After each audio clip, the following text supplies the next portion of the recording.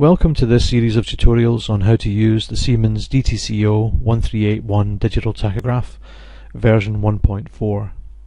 These tutorials are designed to introduce you to the basic functions of the unit.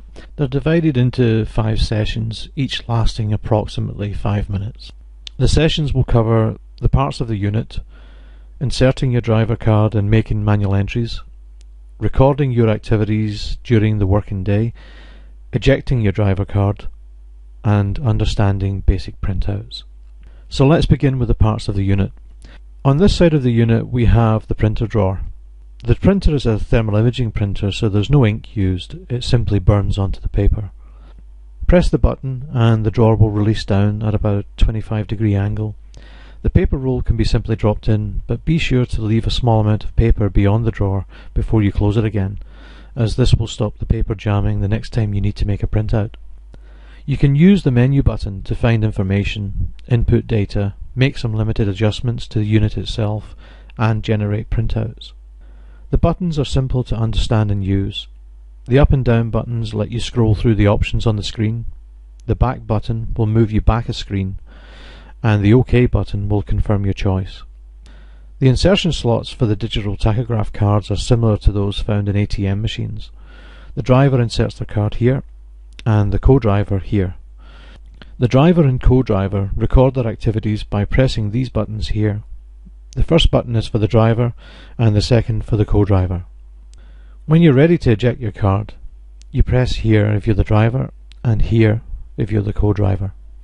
Beyond this panel is a connection point for a vehicle download unit. It's opened by pressing against this side of the panel. When the connection lead is inserted and a company card is in slot 1, the vehicle's activities will be downloaded since the previous vehicle download. The last part of the unit is the display screen. Your screen will look similar to this before you insert your card or switch on the ignition.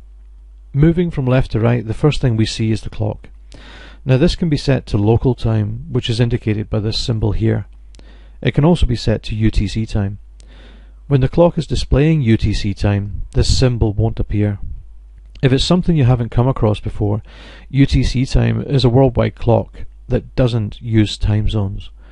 Regardless of where you are in the world, UTC time doesn't change. Fortunately for us in the UK, it's easy to know what UTC time is because it's identical to Greenwich Mean Time.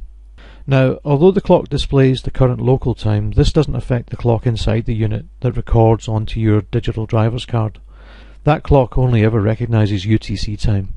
So of course, on the last Sunday in March, when we move our clocks forward one hour, the time that you see on the display clock will not be the same as the clock that's working inside the unit. We'll talk about this in more depth when we cover manual entries in session 2. So moving on from the clock, we see this symbol here. This is the operational symbol. This is what you see when the unit is in standard operational mode, that is, it's being used by a driver.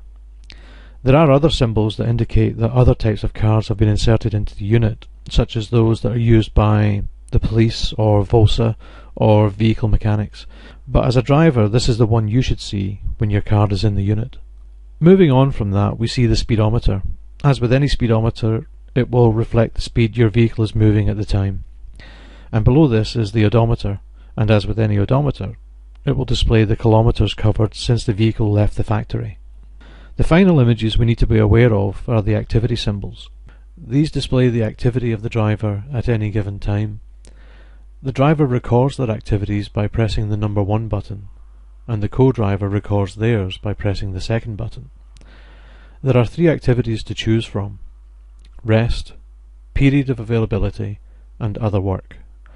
However, on version 1.4, when the driver's card is inserted, a fourth option is available, it's called unknown time and it's indicated by a question mark, but we'll deal with that in the next session.